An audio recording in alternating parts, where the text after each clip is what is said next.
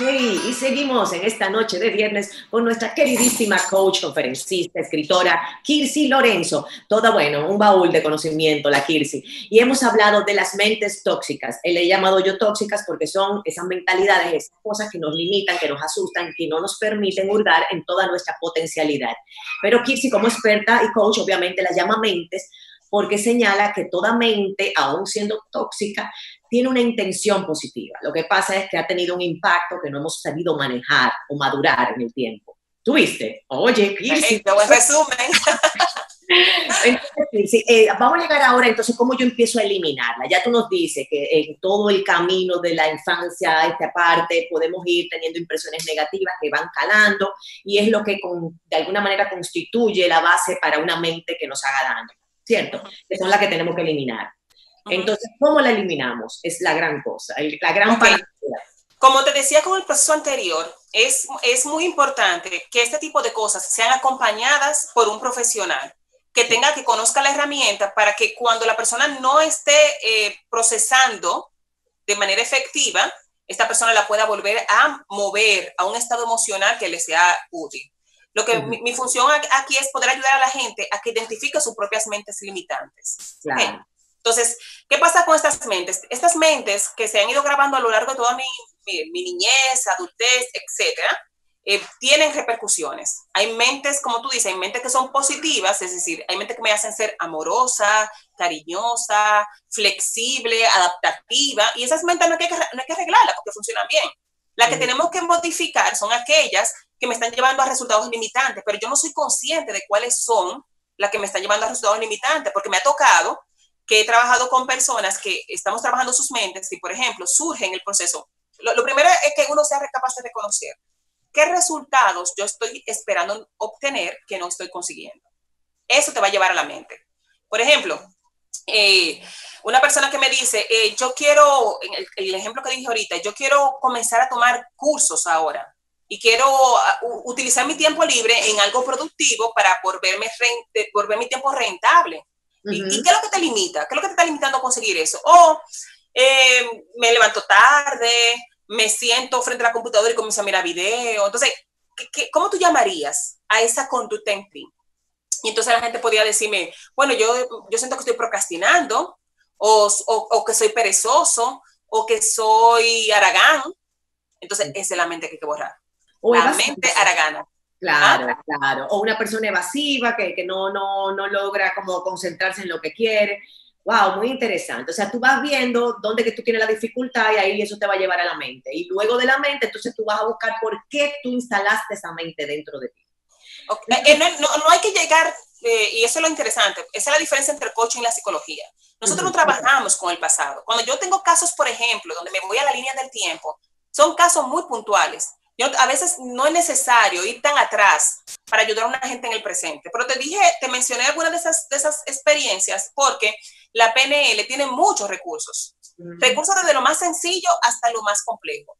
Por ejemplo, si tú eres una persona que ahora mismo tú estás trabajando desde la casa, en el teletrabajo, y tu jefe te está dando mucho boche, eso no tiene que ver nada con el pasado, eso tiene que ver con una situación puntual, actual, y te está perjudicando, te está haciendo sentir mal. Entonces, hay una herramienta de PNL que es el cambio de las percepciones, que con esa herramienta tú subes, tú, tú, tú agranda, tú achica, tú bajas la voz en tu mente y cambia eh, automáticamente cómo te hace sentir el humor del jefe. Entonces, a cada situación va a haber una herramienta distinta. Es como cogerlo por el lado amable. El, el, el, mal humor del jefe, en lugar de tomarlo tan a pecho, como buscarle la vuelta de que no me afecte, de que me, me resbale. O que por no, eso no es fácil. Es decir, buscarle la vuelta no es fácil. Yo, yo lo que hago es que, por ejemplo, en, en PNL, algo muy importante para que la gente pueda entender por qué hay que cambiar, por qué hay que borrar las mentes, es que las impresiones entran por los cinco sentidos. Por algo que yo vi, por algo que yo escuché, por algo que yo sentí, por algo que yo probé, por algo que yo olí. Uh -huh. Entonces, cuando Richard Bandler y John Grinder comenzaron a analizar esta serie de herramientas, lo que descubrieron era que todos nuestros problemas eran precisamente los sentidos. Nosotros confiamos demasiado en los sentidos. Ahora mismo hay personas que, eh, que tienen problemas por la crisis y lo que se están preocupando es por lo que piensan los demás, no por su propia situación. Entonces, yo tengo que ajustar mis sentidos para, que me, para cambiar la manera en que me hacen sentir. Entonces, con el tema de, de las mentes, yo tengo que buscar cuál es el, el, resultado que yo quiero obtener, cómo se llama esa mente, y a través de, el, de la PNL nosotros tenemos formas de ayudar a borrarlas. Maneras sencillas, como te dije, si es un evento puntual que no tiene que ver con mi pasado, yo simplemente en mi mente cambio el tamaño de esa imagen, de ese recuerdo, de esa voz. Es mi jefe gritándome, mi mujer gritándome, yo cierro los ojos, miro a mi mujer gritándome en mi mente y, y, y bajo el volumen. O le pongo la voz de Mickey Mouse. O le pongo la voz de Pato Donald. Automáticamente cambia completamente cómo me hace sentir esa persona que es importante en mi vida, pero que por alguna situación X se está pasando por algo difícil y se está comportando de esa manera. Claro. O un hijo mío, yo tengo mucho trabajo. Perdóname que te interrumpa, pero me encanta eso, me encanta, yo quiero ah, eh, como resaltarlo, muy interesante entender el problema del otro, la intención real del otro, la dificultad del otro.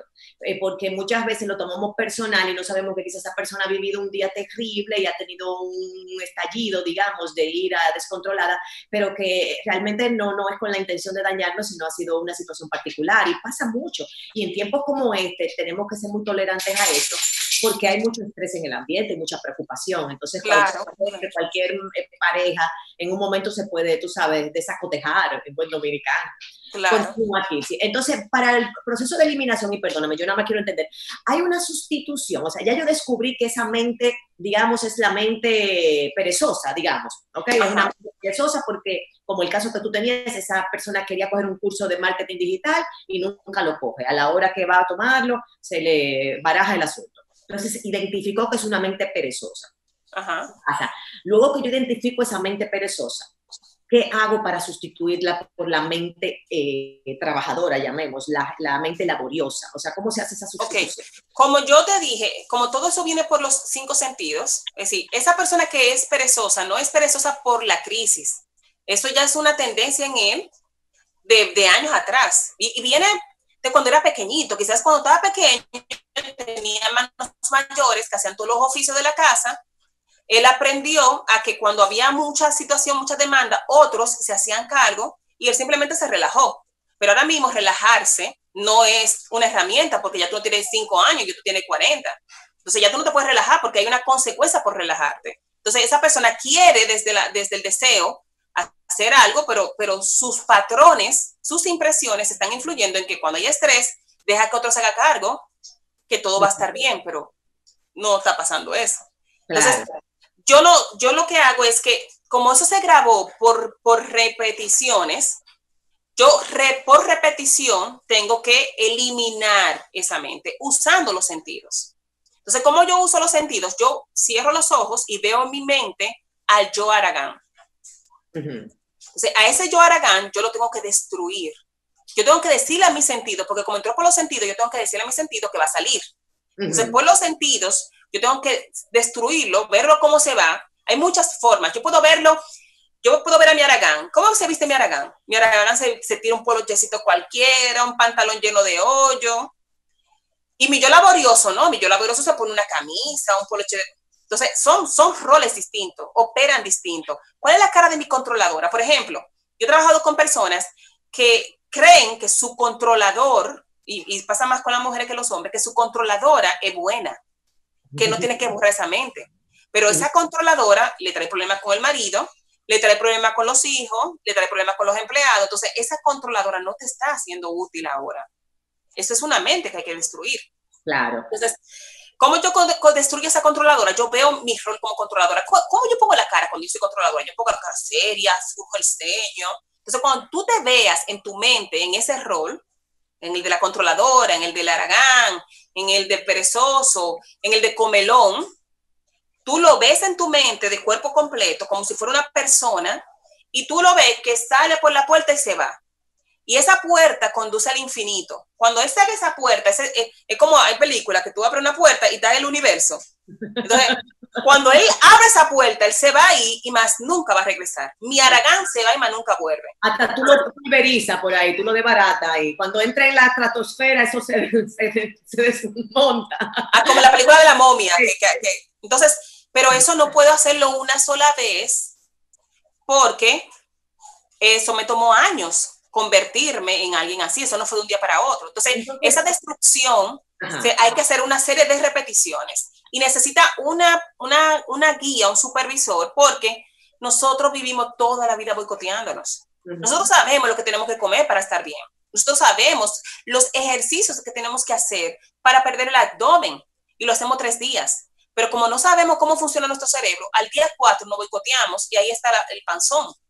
Entonces, por eso nosotros los coaches, por ejemplo, cuando yo trabajo con la gente, el tema de borrar las mentes, que es un proceso repetitivo, se hace un seguimiento quincenal o semanal, depende de, la posibilidad de la persona, para que todos los días lo haga. Y, ahora, sí, sobre eso. Asumamos que ya para ir llegando un poquito a la conclusión, yo, yo logré por ese ejercicio de varias semanas donde yo me imagino, visualizo a esa mente que es la que me perturba, yéndose y desapareciendo. Digamos, eso es simplemente un ejercicio mental. Yo todavía no hago nada en mi vida, no he cambiado nada, no, no, todo sigue igual, pero yo lo voy haciendo. ¿Cuándo llega el momento donde la mente ya verdaderamente se transformó? Que ya, por ejemplo, digamos, en estos casos que tú has mencionado, la persona que no había cogido el curso lo coge, el que estaba gordito se puso a dieta, el que quiere bajar la barriga hizo los abdominales corrido, corrido. ¿Cuándo llega esa transformación? Después en, cada persona, en cada persona es distinto, porque, por ejemplo, yo tengo clientes que, tan, tan, que tienen tanto deseo de cambiar que en un solo día eliminan esa mente 10 veces. Hay personas que hacen una eliminación, porque esto es un proceso donde, cuando tú vas a hacer un proceso interno, tú dices, vamos a limpiar la casa, vamos acá, no solamente a la, a la, perezosa, vamos aquí también a la que le gusta discutir, y vamos acá a la que se irrita con facilidad, y vamos acá a la que le grita a los hijos, y vamos acá a la que da golpe. Se puede sacar a todo el mundo juntos, que se vayan todos. Es lo ideal, porque imagínate tú, te vas a pasar la vida entera borrando uno a uno. Entonces, lo que se hace es como una revisión de todas esas áreas con las que yo no estoy contento, identifico mis mentes de cada una de esas áreas y de una sentada comienzo a eliminarlas todas. Promedio entre dos semanas y tres semanas, la gente comienza a operar distinto. No que, no es que un día tú dices, ¡pam! se borró. No, es que tú comienzas a ser proactivo. Es que tú comienzas a que, por ejemplo, una, ayer yo tengo una sesión, porque yo tengo, yo tengo todos los miércoles un taller. Y todos los días la gente de ese taller se conecta a las nueve, a las nueve y media de la noche a decirme a mí comencé a borrar las mentes hoy, ahora. Y son 18 personas. Entonces todo el mundo entra y me dice, comencé, comencé, comencé, comencé, comencé. Y cuando termina, me dice, terminé. Es una manera de ellos mantenerse conectados con ese propósito diario. Y ya mm. tenemos dos meses y medio en esto. Ahora, ayer decía una, por ejemplo, que ella tiene una mente irritable que, la, que le hartaba. Quedan 30 segundos, Kirsi, así que dale. Entonces, esa mente irritable, ella dio el testimonio ayer de que ya ella no la tiene, de que ella ve las cosas que la irritan y ella ya no se irrita. Entonces, en esencia, nosotros tenemos en nuestras manos el control de la calidad de nuestras vidas. Simplemente es escuchar a la persona correcta y, entra, y entrar en acción. Así mismo. Esa es la clave. Me encanta, ya lo saben, a sacar todas esas mentes que no nos suman y poco a poco con ese ejercicio y el acompañamiento de un buen coach, ahí está Kirsi, y hay también mucha gente que yo sé que, puede ayudarles, eh, pero a partir de ahí, entonces uno empieza a notar cómo ya esa negatividad, esa limitación, ese susto, esa lo que fuera, eh, que tenías, pues empieza a ceder y empiezas a verte que ese curso que nunca habías tomado, pues ya lo puedes tomar. Y de eso se trata. Y también, Kirsi, que son tiempos de pensar constructivamente. Tenemos que salir del cajón, ver las cosas de forma distinta, porque son momentos de cambiarlo todo. Estamos en la cúspide del cambio. Así es que hay tantas oportunidades si no nos dejamos de verdad desfallecer, si, si nos mantenemos con el espíritu en alto. Gracias, Kirsi Lorenzo, te queremos. Así es que ya hay mucho, mucho, mucho. Y a ustedes, amigos, también los queremos muchísimo. Estoy casi como Walter Mercado, mucho, pero mucho. Muchas bendiciones y en casita, en casita, por favor, no salgamos. Bye bye. Buen fin de semana. Bye,